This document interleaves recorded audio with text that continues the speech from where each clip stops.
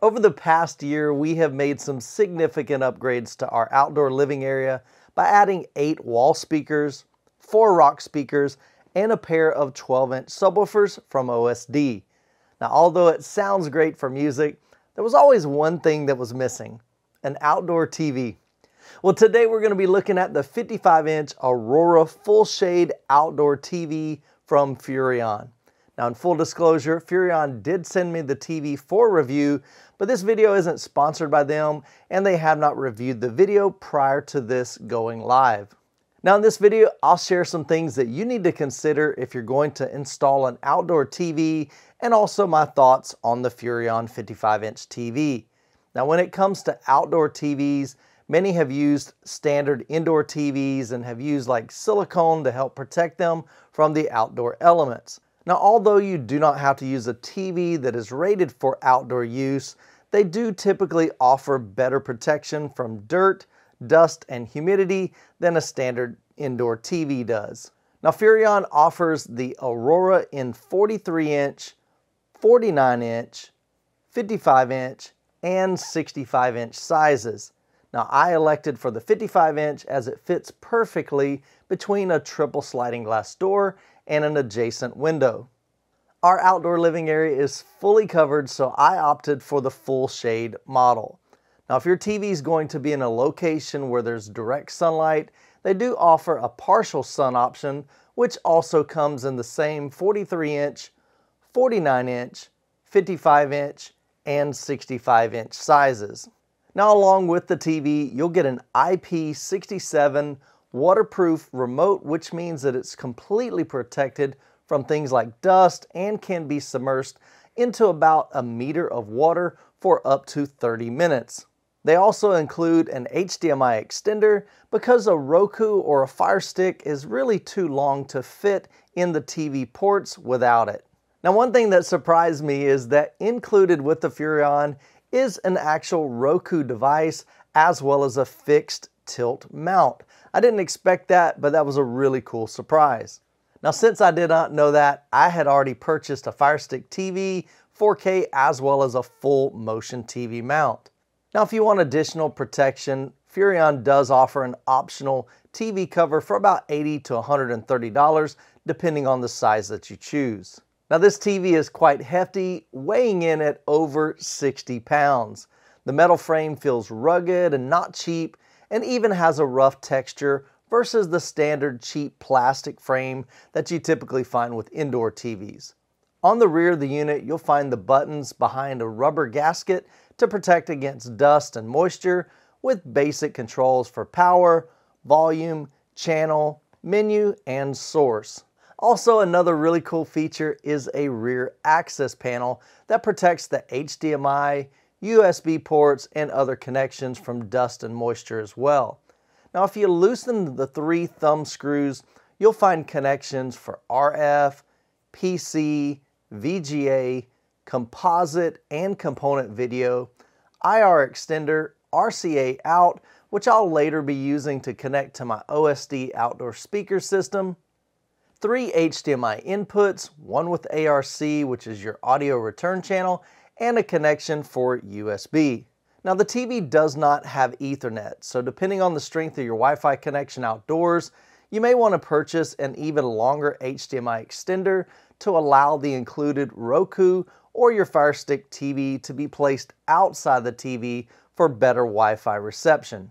The IP67 waterproof remote has just about every function that you'll need, I did find the buttons a bit difficult to locate without actually looking at the remote, as they all kind of feel similar and they're pretty flat compared to standard remotes. Now the remote is nothing fancy, but the good news is you can safely leave it outside and not have to worry about the outdoor elements messing with the remote.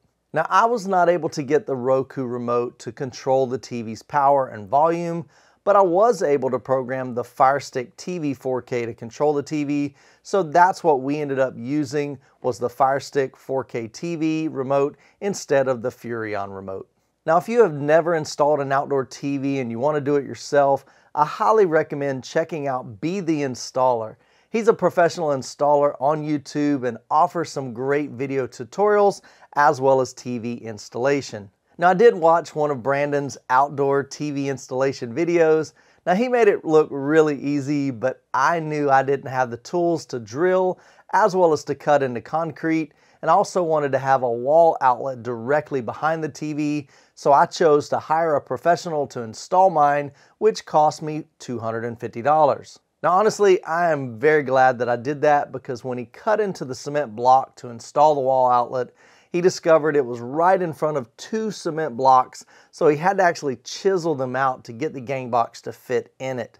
Now, although the Furrion does come with a fixed TV mount, I wanted the ability to rotate the TV and actually pull it away from the wall, so I used B the Installer's recommendation of this Dream TV full motion mount that easily extends, swivels, and also allows me to angle the TV downward.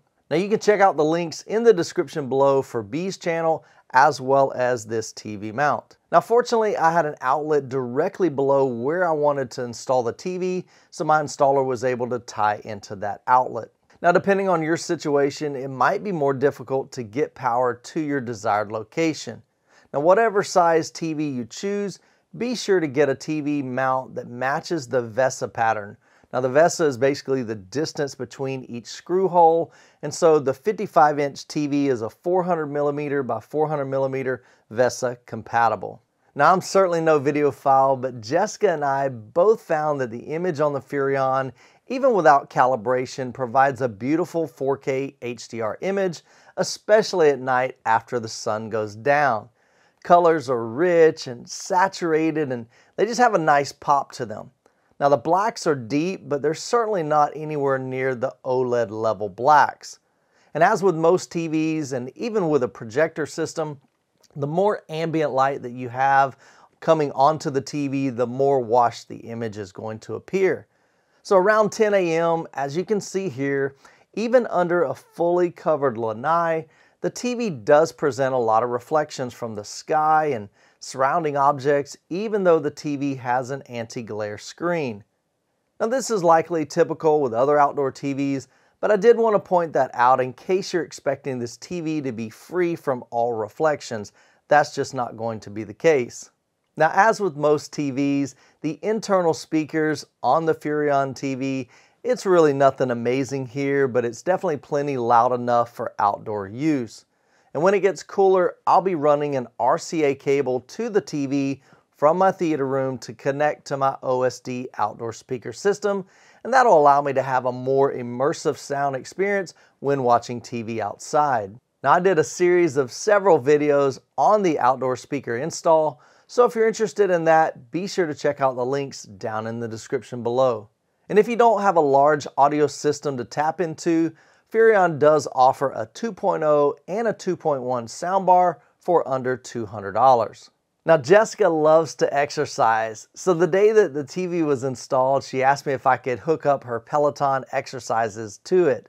And so I downloaded the Peloton app via the Firestick TV 4K, and she's been using it every single evening to exercise. The other day, I even found her laying out in the sun with the TV on, streaming ocean sounds from YouTube. She was nice and relaxed. And needless to say, I just think this is a great addition to our outdoor living area. Now, before you consider installing an outdoor TV in your setup, here's a few things that you just might need to consider. Number one, how will you get power to the TV? Are you going to run the cord just down the wall? Are you going to use maybe conduit or even try to take that power inside your walls? Is that something that you want to tackle yourself or should you hire a professional like I did? Are you going to use the TV speakers or are you wanting to tie into an outdoor speaker system or maybe use a soundbar? And lastly, installing an outdoor TV does require quite a bit more work than an indoor TV, especially if you need to run power to it or maybe even strengthen the Wi-Fi signal uh, that you've got in your outdoor living area, or maybe even running wires through the wall. Now, fortunately, there's some great resources online, like B the Installer on YouTube, that can help provide solid advice and even step by step tutorials on how to do it yourself. Or you may find that it's something that you just rather pay someone else to install for you. Now, if you found this video helpful, be sure to like and subscribe to the channel as I make several videos each week on home theater, audio, and video. And if you're interested in the outdoor speaker system that I installed, check out this playlist. And as always, you guys be blessed, and we'll catch you in the next video.